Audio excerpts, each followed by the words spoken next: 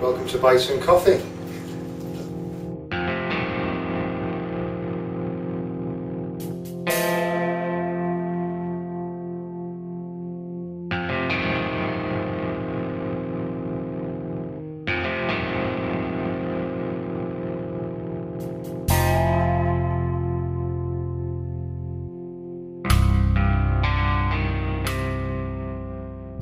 So was it always going to be a cafe and a vintage store or were you thinking about one or the other and realised you could combine both of them? It was always going to be a combination of both really. Um, Yeah. I'm trained in the restaurant business and cafes and I grew up with a family of vintage suppliers and architectural salvage merchants so it was just an obvious choice for me really to do both. Um, play to your strengths. as Yeah. it were. And is that what influenced having this particular look for the whole Yeah, place? definitely. I mean, this is something which I asked, I did in collaboration with my mother who has a salvage business down south. And we always wanted it to look American from the 30s, 40s, pre 1950s really. And you get a lot of wood, metal, industrial salvage, things like that. But we always, we, I mean, this kind of stuff is all over in my house anyway, so it's just a natural progression for me to bring it into the cafe then try and flog it. Did you consider many or any other locations? Uh, or Never really locations. I considered a few places on this street. It was always Heslington Road. It was always going to be this? Yeah. After my market research and um, I actually rode for about two years, rode on every street and area in York. So I know the place quite well now. and this is the place which I couldn't understand why there was nothing else here really. Yeah. Uh, it's the epicentre of the student population. It's down the road from 14,000 students on and off at any one time. And yet there's nothing here apart from kebab shop, curry house, a spa, yeah. a property shop, which is I just found ridiculous. There's no bars, there's no cafes, there's nothing else. So this was an obvious choice for me really from day one.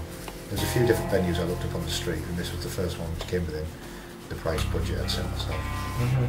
So And is that who you see your main customer base as being students? I'd say 70% students, but there's also 30% of the local yeah. population. There's a lot of alternative-minded people, people that would have enjoyed, and like there is in any suburban area in this city or any other city, there's a lot of people. That, there's enough people to suffice a small business to serve it. Um, so we get a we get 30% local people.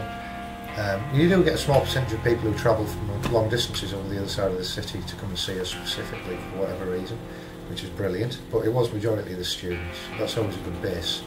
Yeah. Well, I mean, we couldn't survive for 12 months a year based on them alone, really. Um, that's hence why we do other stuff during the summer to try and bring people in, really.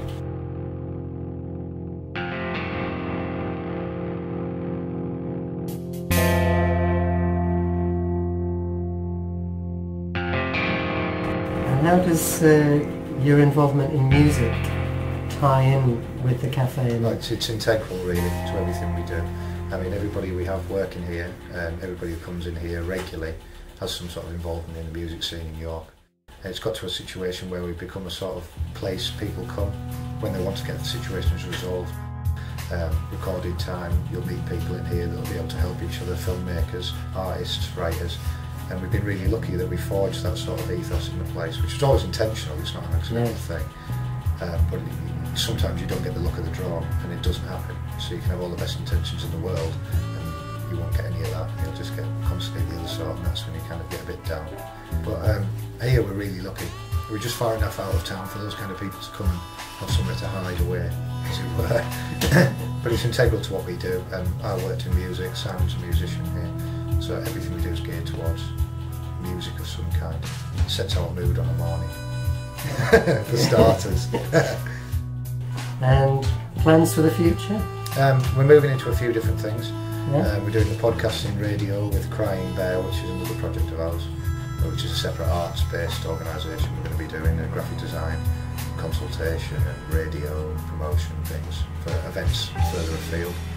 Um, we're starting to run events in the, all the local pubs around here. Been given nights, over fist to do whatever we want with, which is a bit dangerous for them. but we can put all sorts of alternative acts, new acts on and really get them promoted. And plus we- we're serving the local area again. I mean, like I said, there's so many students here. We have, we're friends with the guys who own the Rook and Gaskill and the Woolpack pubs. Um, So we work in conjunction all together to try and promote everything for all of us. So we do acoustic gigs here, um, and we're going to push on to doing more nights outside um, for other people, promoting our brand and helping fledgling businesses get this all-important student dollar into there, really. That's our push. There's a lot more to come.